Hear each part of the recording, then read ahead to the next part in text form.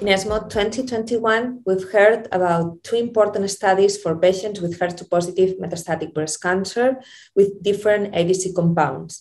DESTINY-03 trial testing the efficacy and safety of trastuzumab deruxtecan and the TULIP trial testing safety and efficacy of SYD 985.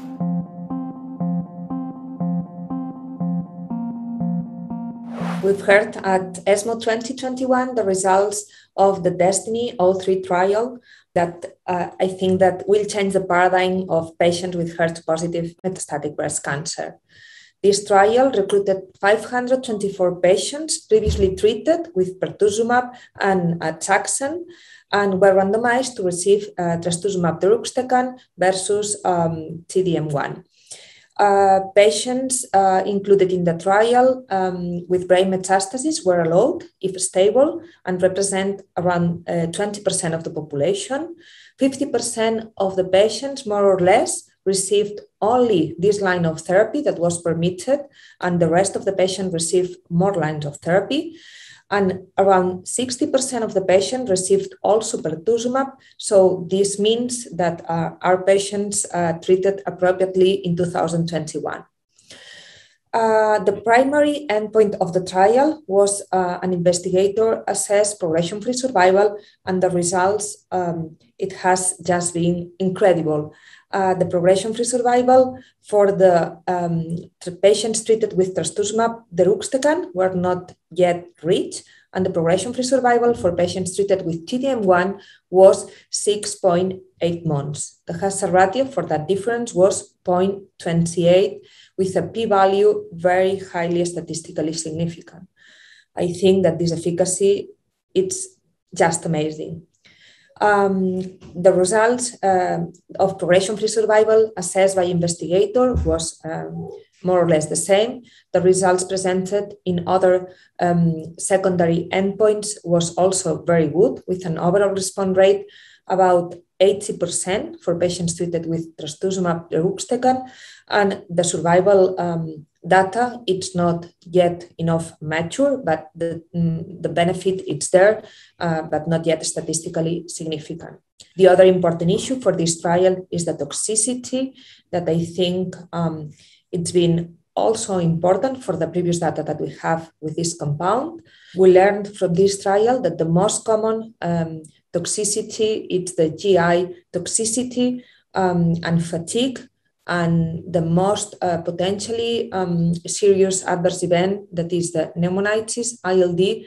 I think it's been very reassuring for the medical community as only 10.5% of the patients had uh, ILD pneumonitis adverse event.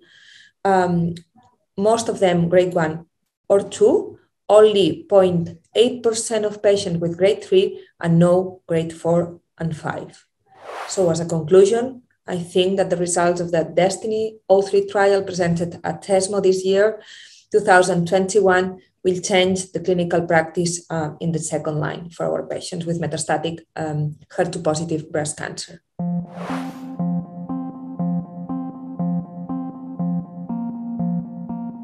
At ESMO 2021, we presented the results of the phase three trial uh, TULIP. In this trial, we compared um, the efficacy and safety results of SYD 985 um, with um, treatment physician's choice treatment. SYD 985, it's an ADC um, using uh, chemotherapy, uh, a duocarmycin, a DNA damage agent linked to trastuzumab. The uh, standard of care arm allowed uh, patients to be treated with lapatinib capecitabine, capecitabine plus trastuzumab, uh, trastuzumab plus vinorelbine. In that case, the patients uh, were included in the trial, 437, and uh, patient population included here was patients with HER2 positive metastatic breast cancer treated with at least two previous lines in the metastatic setting or TDM1 in that setting. 13% of the patients included in the trial had brain metastases um, stable or treated uh, at least eight weeks before entering the trial. And regarding the previous treatments that patients received, more than 85% of the population included in the trial received trastuzumab and T-DM1, and around 60% received also pertuzumab. Interestingly, some patients included in the trial also received new emerging therapies in the HER2 field as trastuzumab deruxtecan, margetuximab, or tucatinib. The primary efficacy endpoint of the trial was progression-free survival, centrally reviewed, and the trial was positive, showing an increase in median progression-free survival from 4.9 months to 7 months with a hazard ratio statistically significant of 0.64.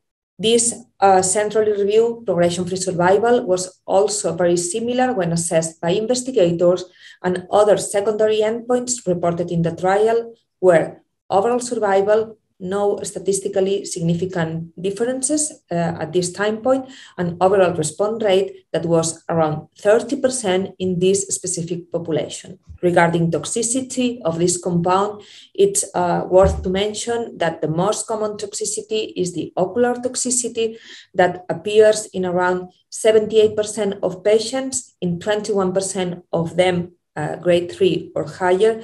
And this is a toxicity that needs to be monitored and appropriately treated.